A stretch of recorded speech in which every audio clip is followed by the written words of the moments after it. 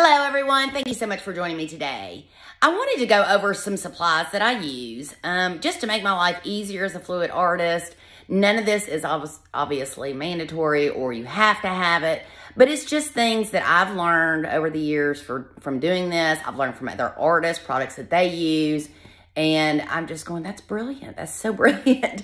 so as I go through some of the products, I'll try to let you know exactly where I got them. Um, it, this is not an endorsement. This is not, you have to go out and get it. It's just things that make my life easier as a fluid artist. So let me go ahead and start showing you the products. And um, if you have any questions or comments, please leave them below. And I'll try to um, get to them as fast as I can. And like I said, none of these are endorsements. It's just things that make my life easier. All right, everyone, let's get started. I've got a mirage of things to go through here. And I know my table looks like a mess because I've got so many products out. Uh, to get started, uh, when you first get your canvas, I mean, this is what I do. You don't have to do it. Not all artists do it. I like to tape off the back of my canvas. This happens to be frog tape. Um, I like it. it. It protects it well. It gives clean lines. So that's what I use. And of course, I cut it with my scissors. I also reuse these. I keep these so that when I'm like um, using a strainer or something or have a stir stick, I can lay it on top of this and I'm, I just reuse it and reuse it. So I try to reuse as many products as possible. Next thing is levels. I've got a giant level for when I have large canvases. I want to make sure that it's uh, level all directions. And I've got two smaller ones here. Um, I just find it useful to have the different sizes so that I'm not always, you know, trying to make sure and move it. And I just like having, you know, the different sizes. Put those up. Little drawer down there. I have a tape measure um, because I buy some of the smaller canvases for uh, to practice on and I forget what size they are. So I use my tape measure to look and gauge what size it is. Uh, just like this one. So this is a practice canvas, obviously you can tell. I don't throw away canvases that um, I practice on. I reuse them and reuse them. And eventually you have to, you know, kind of toss them. But I just keep using them over and over again. But I wouldn't know what size this is. I think it's a 14 by 14. But I want to always make sure before I, you know, uh, film a video. Okay, another thing. I use thumbtacks sometimes. I've gotten away from these. Not I use them sometimes. I don't use them all the time. Um, and then I use a rubber mallet to hammer them into the back of the canvas. It just makes it so much easier than trying to push it in there. And even if you have the small ones, which I do have some of those little bitty ones um, that I really don't use anymore, you can use the rubber mallet. It just makes life easier. Okay, another thing that I use to prop up my canvases are these stands. Now, these are from Molly's Artistry. Um, obviously, I haven't cleaned them 100%. But here's one that's really dirty. But I'll tell you, I love them. Um, I bought myself two sets, and they're so easy to peel the paint off. I mean, look at this. It, oops, sorry. It just peels right off. I mean, I absolutely love them. And what I do is I'll use them and use them, and then um, wait until the paint gets, you know, a little bit thicker and then I'll peel them. So you'll see me a lot of times and they're dirty and they're like this. But I just find that a little bit thicker paint, they're easier to peel. You can peel them with thin paint. It obviously works. I mean, it really does. But the thicker the paint, the easier. So I just let it build up. Love the stands. Molly, thank you for creating these stands. Okay. Obviously rubber gloves. Not everybody wears rubber gloves. I like to but I still get paint everywhere. if you've seen any of my videos, I get paint everywhere. Uh, I'm just a messy painter. Okay, another product that I use, and I just got this, um, oh, I don't know, about a month and a half ago. Love it. Now, I have a table, and I've covered it in thick Visqueen, just clear Visqueen. And um, I keep it on my table just to preserve it. And I do go through and clean it off often. Excuse me. This is just plastic covering. I love it, love it, love it. And it comes in a roll and you do this and then you can cut it and it cuts beautifully. Um, I'm not gonna cut it right now, but it does cut beautifully. Love this product. Um, I just happened to come across it when I was looking for something to protect my table. So I keep the Visqueen down and then I put this on top of it. And you can wipe this up. You can scrape it. I scrape my paints all the time. Great product. Okay, torches. I have a large torch and I have a small torch. I love my small one. It broke the other day. I'm so upset. So I've got to order another one. It, it will not ignite. I don't know why. Um, I'm sure it's something I've done to it. But it comes, um, I buy these little butane fuels. And this is what I normally use. This one is very powerful.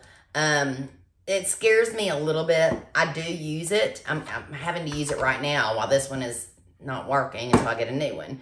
But uh, it works just fine. Um, and comes with these canisters. You just put the top right on top of it. I like the smaller one better though. Okay, some other products. Strainers. I've got different sizes. I actually have another one that's about this size. Fits perfectly on a cup. Strain your Floetrol. Strain your paints that you scrape off the table. Use them for whatever. And then just rinse them off and reuse them again. And then like I said, a lot of times when, I'm, especially when I'm using this big one, I'll just lay it on here until I get a chance to go and clean it up. That's that frog tape cover. So this right here is the cardboard, and I know a lot of people reuse these for a lot of things. I use them to help scrape my tables. I use them to test on, um, make sure consistency is correct. I actually do little tests as far as um, uh, the products that I'm using. Um, you can swipe with them.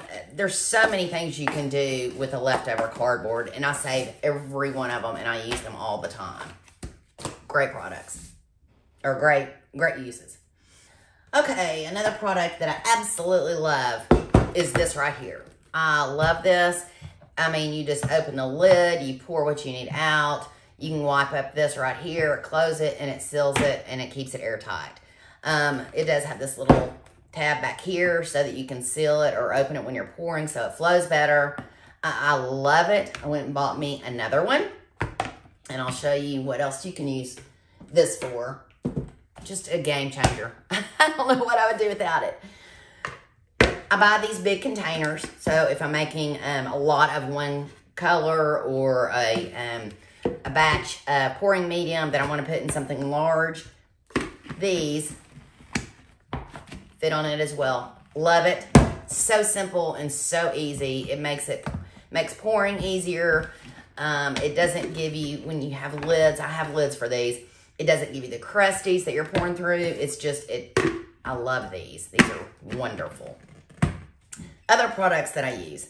I use mason jars. Now with mason jars, you have to make sure you clean this off really, really well because the lid does stick. So I've got several of these and I do use them, but I prefer these right here. These, I believe, are little yogurt containers.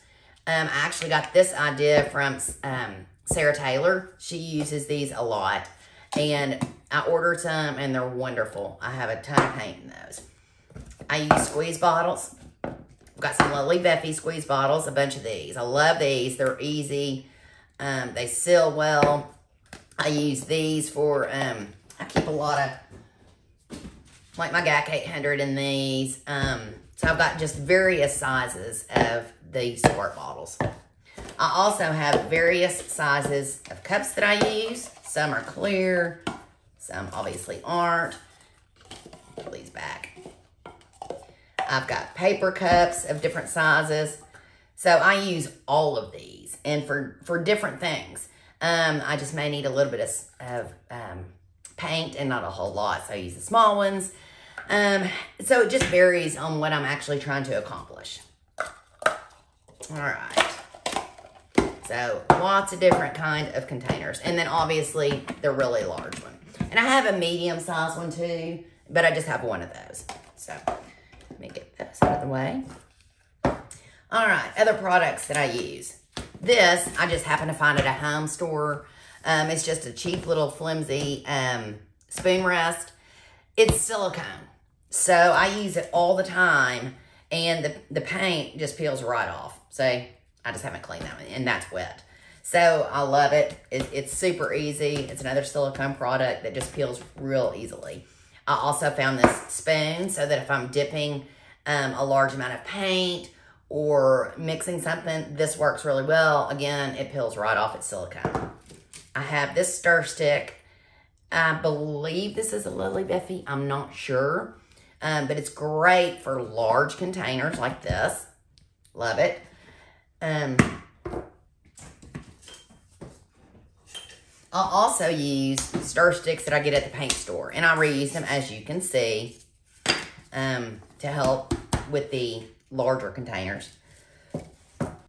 Let's see.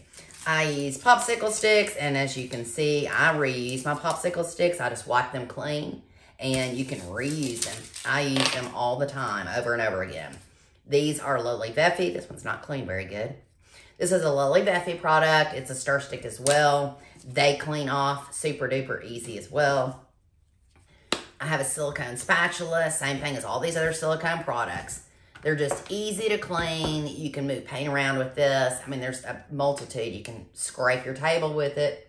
Multitude of uses for this, this tool as well. And this one I actually got from Canela Sirocco. She's the one that turned me onto this tool. Trying to remember to uh, give kudos to the people that turned me on to these. Uh, let's see. I have my small hair dryer. Now, this one, I know a lot of people ask where I got this. Um, Tammy Anderson had this small hair dryer, and I loved it, and she actually put a link when they became available again. Apparently, they were unavailable for a while. And I got it from um, uh, a link that she had provided. It is, let's see, got so much paint on it. I believe it's called Flower, and it's a mini.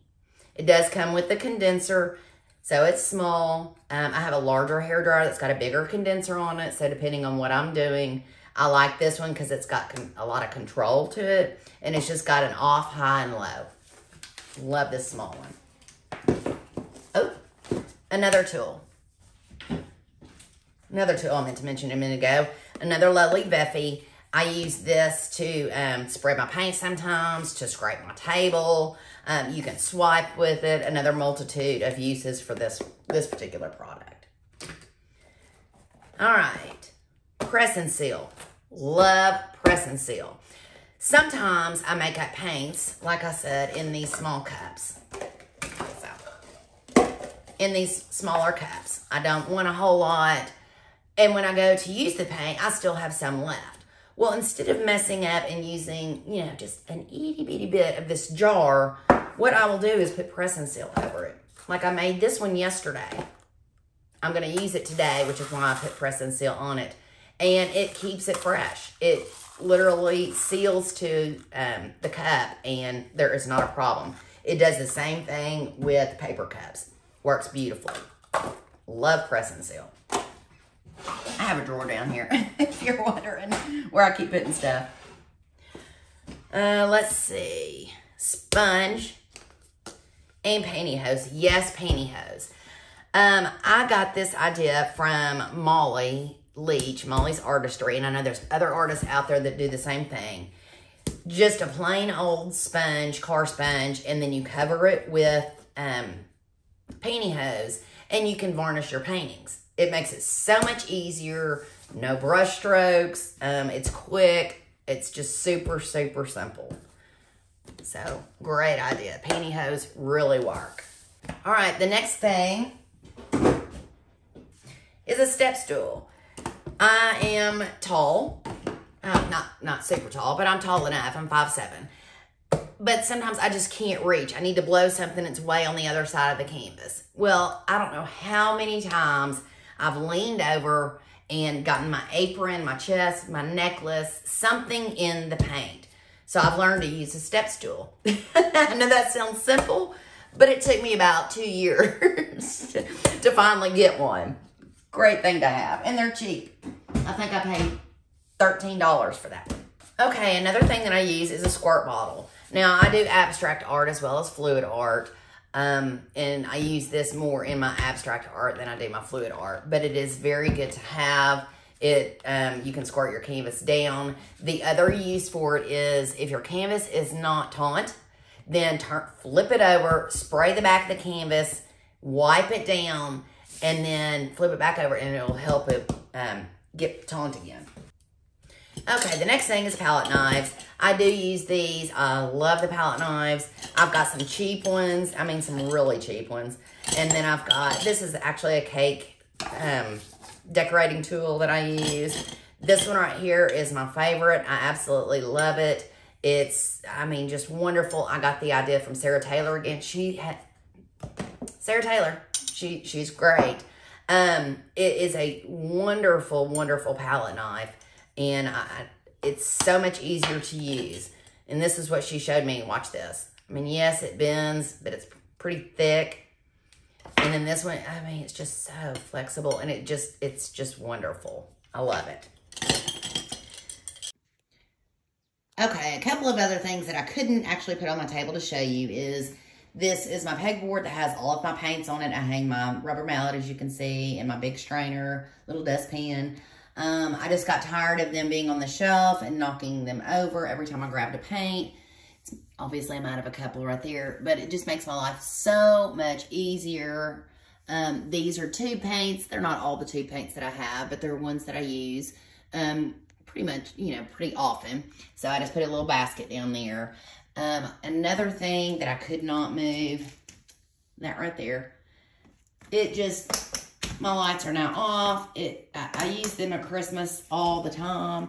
And I thought, you know, how perfect is it to turn my studio lights on and off? So I use it all the time. Also, this cart. Um, I don't move the cart, but I do use it. It's just real handy. It's next to my table. It's got all of my products on it, palette knives. Um, stir sticks, my tape, push pins, obviously my uh, brushes, and then below I keep my larger um, things of paint and varnish and stuff like that. So those are just a few things that I could not move to show you. I just wanted to show you some of the products that I use that just have made my life so much easier and and I hope that you benefited from this and I know a lot of these are common, um, but if you're new, you may not know what helps you out. So I just wanted to give you a little bit of what I use um, pretty much on a day-to-day -day basis. So I hope you enjoyed this video. Thank you so much for joining me. If you have any questions, please put them in the comments below and I'll be happy to answer them. Hope you have a great day. Bye.